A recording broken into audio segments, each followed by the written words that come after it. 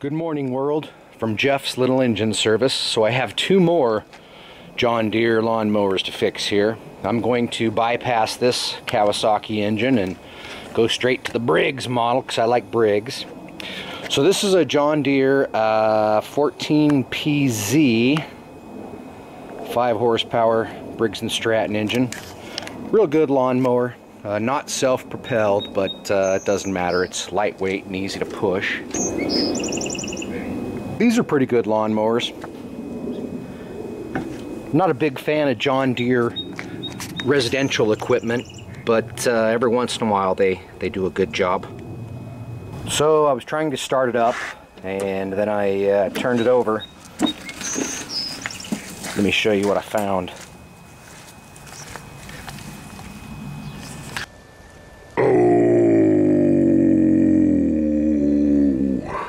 That's brutal, man. This thing must have ran out of oil and thrown a rod. This engine needs to be replaced. So it's definitely time to retire this engine. Get this thing off of here. It's freezing out here today, about 34 degrees. This is what I look like. And uh, we're going to fix some stuff today, so let's get to work. Got my air tool out here, running from the garage. Hopefully I can get this engine off of here pretty quick. Going to have to disconnect this here.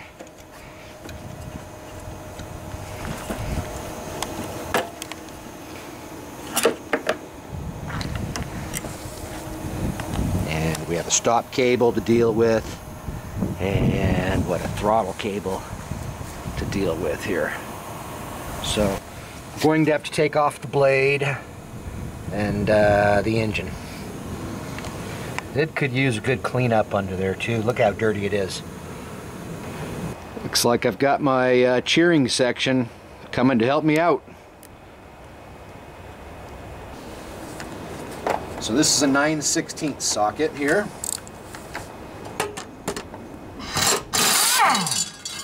Easy enough. Now I have the motor mount bolts to deal with. Looks like those are a bigger size bolt.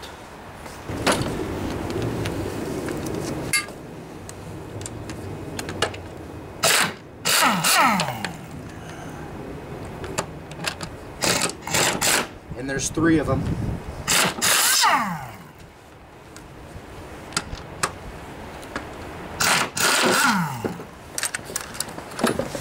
So now, as you can see, the engine can lift right off of here. But we do need to disconnect the cables first. So this is the stop cable. This is the cable that's connected to the handle up here. And what you do is you just find that spot there and you pinch it. Probably would have been a better idea to do this before I disconnected the engine.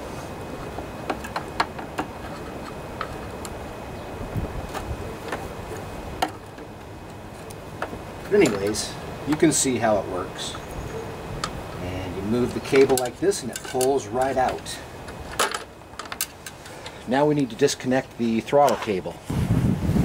So this is the tool I use. It's a 5 16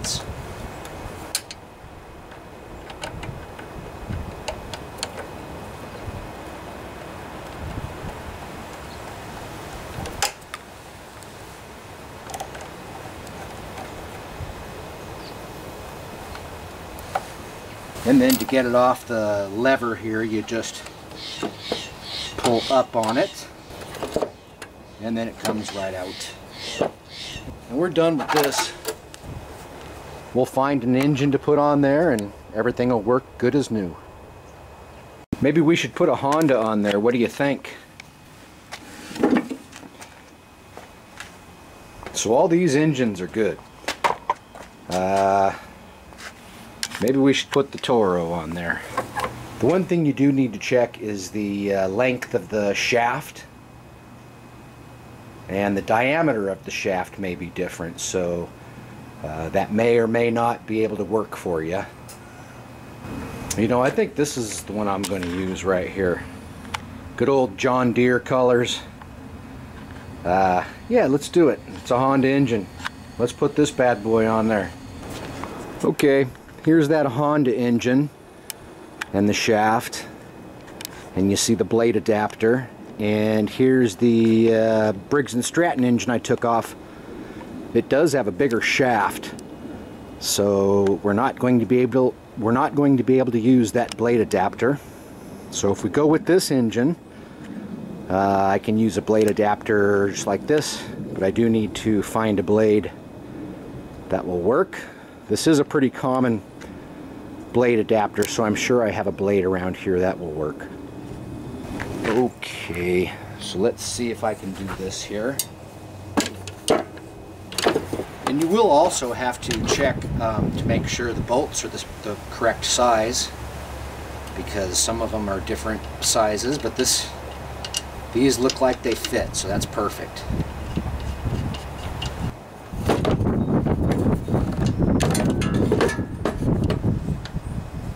Getting these bolts started can be kind of tricky. Just have to be patient, take your time, you can get it.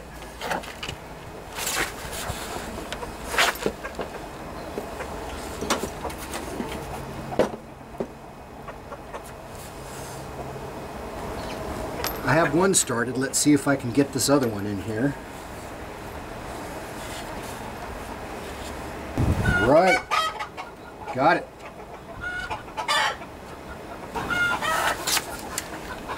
Right, one more bolt to get in here.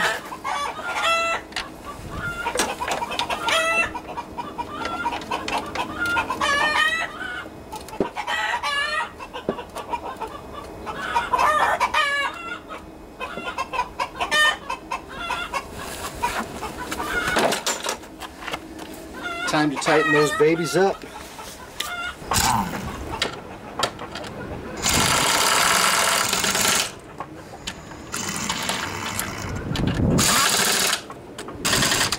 I'll finish these up by hand just so I can, uh, just so I know they don't get over tightened. So here's the blade I took off. You can see what, what it looked like where the adapter mounted up. And here's the one that'll uh, work for this Honda engine. You can see they're the same length. I lined them up on that side and it's lined up on this side. So this is good. We can use this. And for this style of blade adapter, this is what the bolt and washer looks like. And I can see on this blade adapter, it's actually missing one of the pins, but um, it will work. And I'll go ahead and replace that at a later date. Or so I will tell you guys. It's going to work just fine. Just make sure that you get the blade onto the adapter flush solid before you tighten things down otherwise you can bend something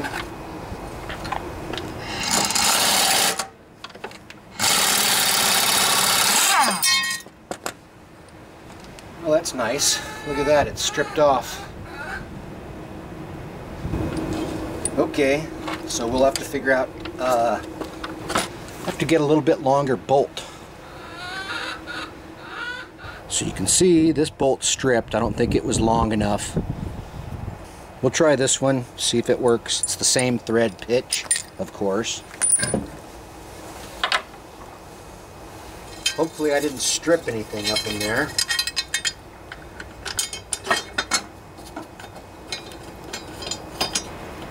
Yeah, I think that's the right size there. Here we go.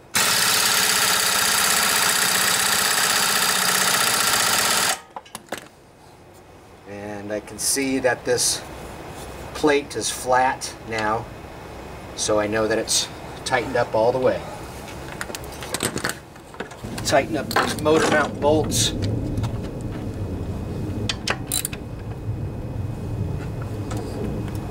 Yeah, they're pretty tight. Yep.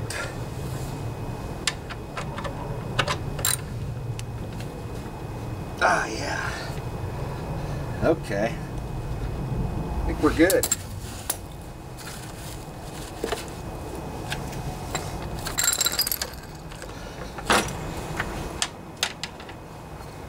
So luckily the stop cable I think is going to hook up perfectly.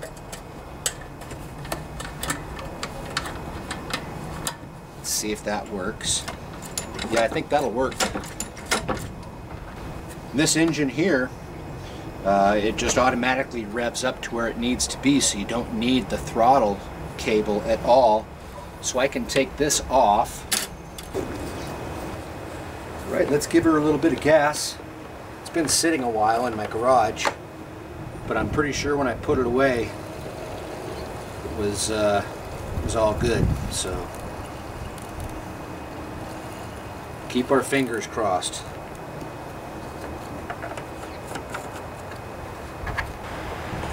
Give it a shot.